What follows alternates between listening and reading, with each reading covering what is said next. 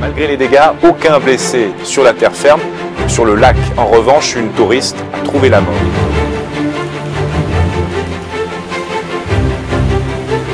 Pointe de vent à 50 nœuds, soit plus de 90 km/h, de la grêle, une visibilité nulle. Durant une demi-heure, le lac s'est transformé en mer.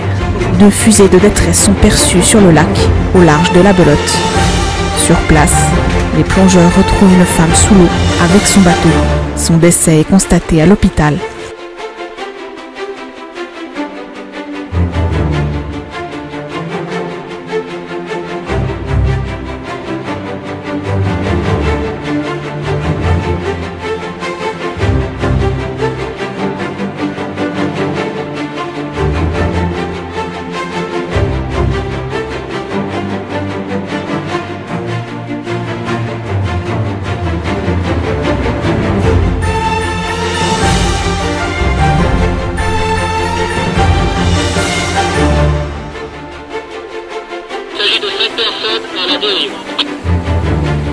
24 compris.